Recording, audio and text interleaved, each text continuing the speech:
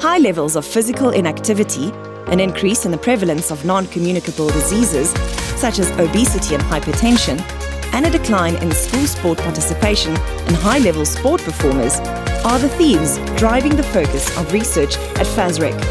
The research focus area of physical activity, sport, and recreation was founded in 2009 and strives to be an internationally recognized research entity in human movement science across the lifespan that engage in scholarship with social responsiveness and an ethic of care.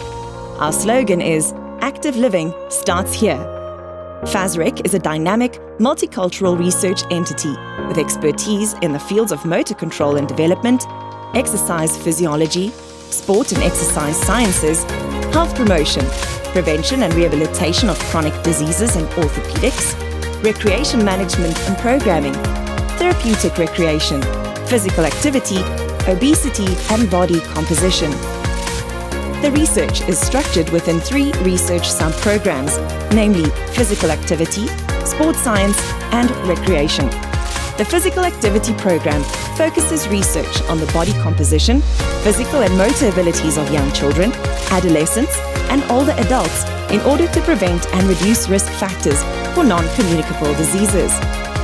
The research from the sports science program focuses on performance and psychological indicators of training and matches demands in various sporting codes, as well as heart rate variability and strategic recovery related to optimal performance. New technologies implemented is the use of eye tracking and kinematic and kinetic variables in health and sport settings.